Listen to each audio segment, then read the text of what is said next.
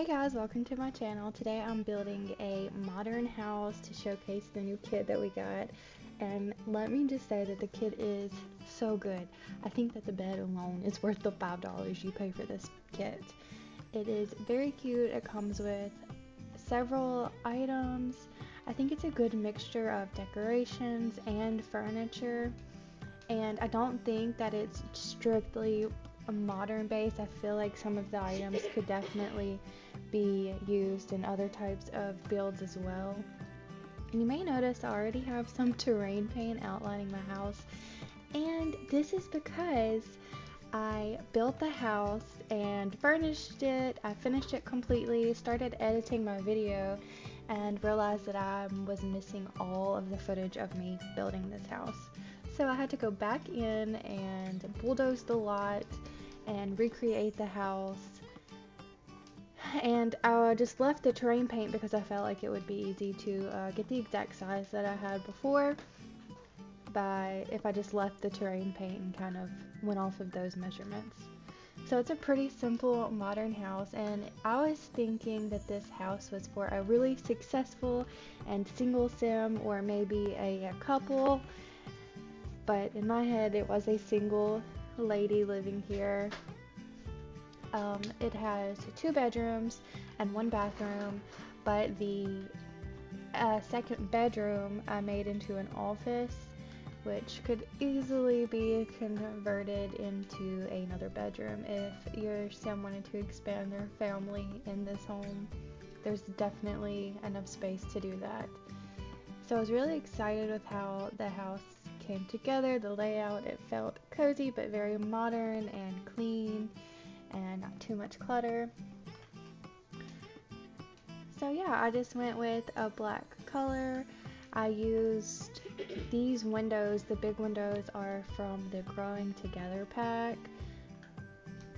They're so gorgeous to me. I used them all throughout the house and then I took some eco lifestyle wallpaper and did the boards, the black boards over there, and then the rest of the uh, house is all, I think, base game wallpaper.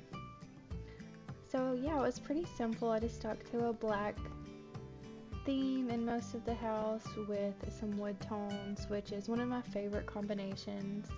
And over here, I'm adding a little pop out and this is going to be the way they access the backyard because I did end up putting a little back patio out there so they can access the back by this door right here on the side and instead of just making it a normal room or a fireplace I ended up making it like a green room type of um, room so I put a glass roof on it and glass windows from the greenhouse kit and it came out really cute. I love the natural light that it brought into the rest of the house, which you'll see soon. This house actually had some really good lighting in it. The bedroom and the office really show the light coming in so beautifully. So I can't wait until we get to that part just so you guys can see that too. But here I'm just placing the windows and the doors on here and making it a completely windowed glass space for plants, I ended up putting just a couple of chairs out there with some plants. And you will also see that soon. I went very simple on the landscaping just because modern houses you don't typically see like a big mismatch of landscaping. It's usually just greenery, simple plants and stuff. So that's what I did. And again, I did redo this, the outside of the house, so it does look a little bit different in the end because I ended up using a couple of different bushes. So again, I told you guys I bulldozed the house, but I bulldozed it just to show you guys me recreating or me building it. I didn't save it. I went after I finished recreating this for y'all, I went out and I didn't save my game. So when I came back, it was exactly how I had done it originally. So it does vary a little bit, but this is the gist of how I did it. If you're building along with me or trying to figure out how to do it, this is basically it. I just, I really like using these little stepping stones for modern builds. I feel like they look really nice and clean. So instead of using a just staircase, I've seen this trick done before and I have been wanting to use it and I feel like it really worked for this build.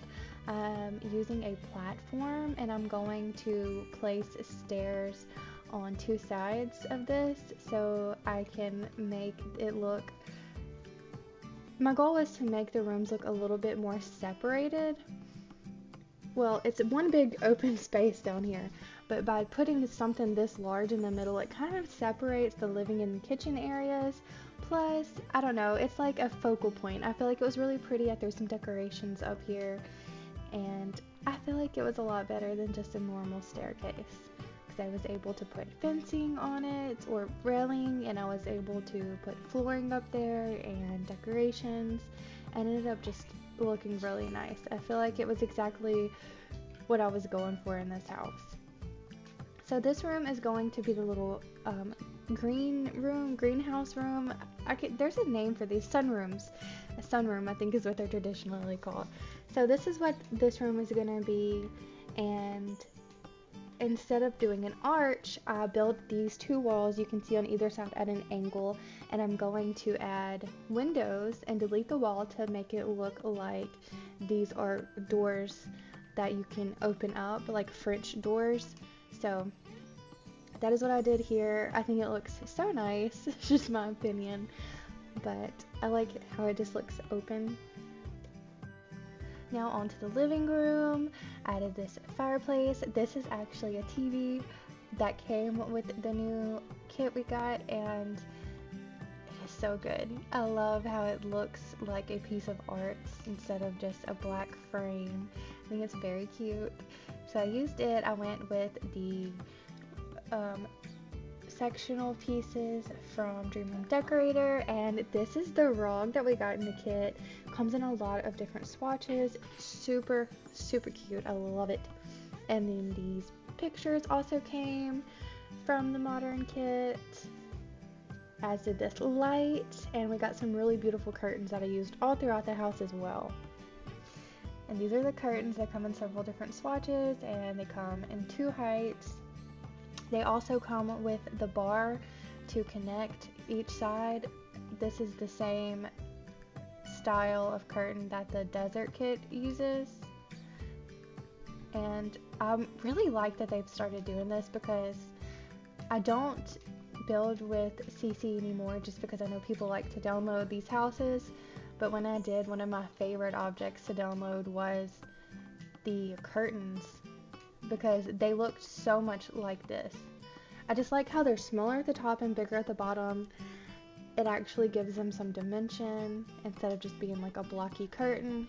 And I love that they give us the curtain rods so we can connect them like I did here. So that is something I've seen done a lot with custom content. That is how a lot of the curtains are. And I'm so happy that we now have two different versions of this to use in The Sims without having to download the custom content. So this bookshelf is also from the kit and so is the wallpaper. I used it as an accent wall because it is a little bit busy to do the entire house with, but it's the perfect accent wall type of wallpaper. For the rest of the house, I believe the wallpaper I used came from the Wedding Stories pack. I do believe that's where it's from. But it's just a simple wallpaper. I didn't want to do anything crazy. I still wanted it to feel clean, minimalistic kind of. So over here is just a sitting area and I'm gonna add a table with a mirror, some clutter on the table. I added this new purse clutter type. I don't know if it's like a makeup bag or a small purse or what, but it came with the kit. So I added that to the table as well and added some chairs just to give it a little sitting seating area nothing crazy. Again, I didn't want it to feel empty, but also didn't want it to feel over cluttered because I don't think of clutter when I think of modern. I guess it depends on whose house it is, but in The Sims, this is what I feel modern is. And these chairs also came with the new kit. Oh, oh my gosh, I haven't even talked about the throw pillows that we got. What? I cannot believe that. I did put some on the couch but I mean, I just can't believe it. When I saw the throw pillows out, my mind was blown. Like, why don't we have something like that in every pack or kit that we get. You know, they're so so handy. I wish we had some throw blankets as well though. But I'm gonna be thankful we at least got some throw pillows and hope maybe one day we'll get some throw blankets too. just adding a couple of little things in this corner. I feel like I always go for the coat rack and the umbrellas and some shoes. It's just easiest. And this is going to be the kitchen. I tried to follow the theme and I did these black grayish countertops from Dream Home Decorator with the wood accents at the bottom. Again, very simple in here as well as in the dining room. I just added a little island in here. And I feel like the space is very, very spacious, but it's still cozy. I guess that's that's the feeling I get from this build. So, and again, I like how the big stair piece that I have there helped separate and make the kitchen its own space. So, because I do have stairs here, it was a little bit awkward to do counters all the way across. So what I ended up doing was just a couple of windows in here with a range hood or a vent hood, and I um, added some open shelves on one side because it did feel like it was a little bit too plain. So I went with this and I think it came out really nice.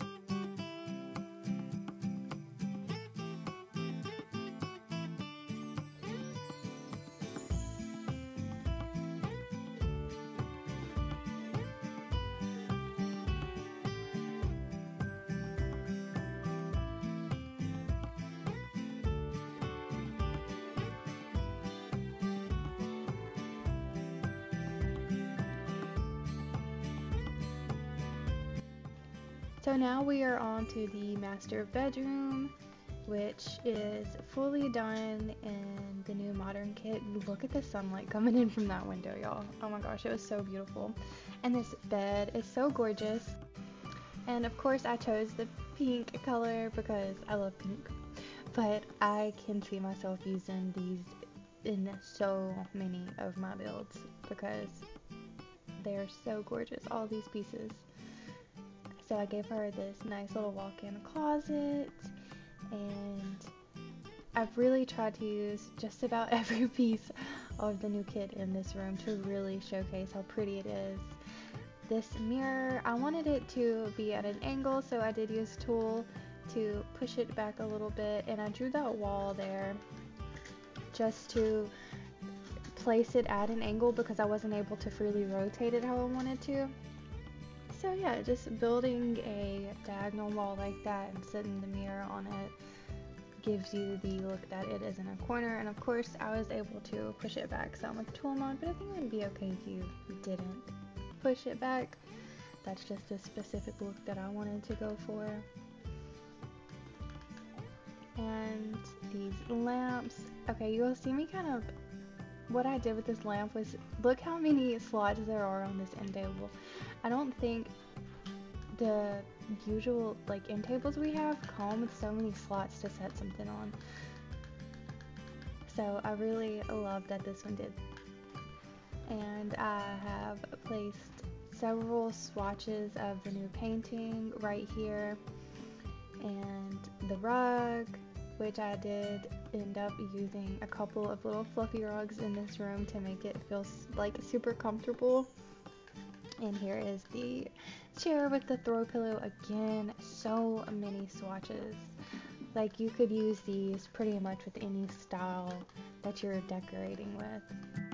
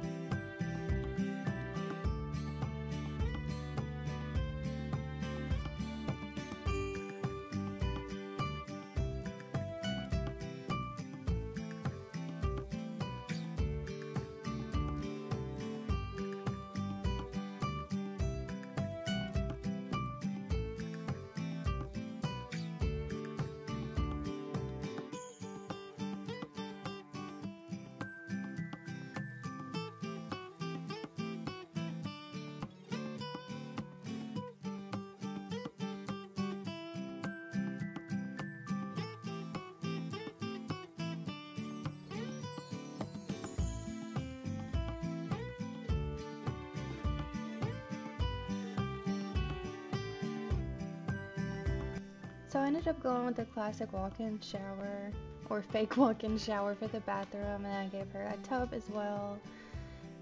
I wasn't quite sure what to do in here but I felt like this was a pretty good master bedroom and it's also the bathroom for the rest of the house because this is the only bathroom which I thought would be fine considering in my mind that this house was for a single sim or a couple, not a very big family living here. And that's pretty much it for the bathroom. I did go back and change the colors of the, the items on the counter because I felt like all the colors were not blending. And the next thing that I'm going to move on to is going to be the office. And I gave her an office because, again, I said I wanted this to feel like it was a home for a single, really successful sim so I tried to put my mind in that place and I gave her this office and I don't know what kind of job she has. Maybe she's a fashion designer. Uh, the poster I put here is like interior decorator, so maybe that is what she does. But again, I used a ton of items from the new kit. This is the third time I've used this rug in this build, and I feel like it makes the room look totally different every time.